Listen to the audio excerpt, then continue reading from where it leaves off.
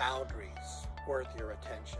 Well, when we're talking about boundaries, we're talking about where you end and others begin. Um, Jesus said, you let your yes be yes and your no be no. Why can there be a problem with boundaries? Well, some would suggest, and I, I go along with this, that our greatest needs in this life is for one another to connect with other people. So sometimes we tell people what they may want to hear. I know Jesus talks about, you know, telling a, a, a story of a, a, father telling his two children to go out and go work in the vineyard. One says yes and he doesn't go, the other says no and later on repents.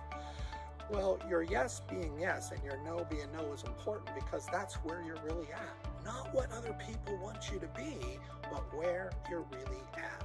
That's what God wants to work on in your life. And that's really where you begin your growth process. Now, it doesn't mean that uh, it's okay to be totally selfish and uh, me and uh, forget everybody else. No. It does mean that in that yes and yes and no be no, some of our yeses need forgiveness, some of our no's need forgiveness. That's where we discover God's grace, and that is where we're at.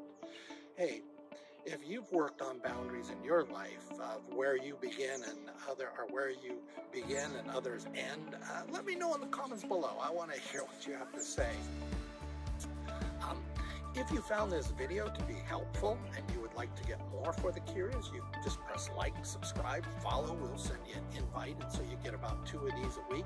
Hey, if this issue on boundaries would help some of your friends on your friends list, uh, just go ahead, please share. We'd appreciate that. But in any case, as we say, salam Allah fiaretic, la paz de Dios en tu viaje.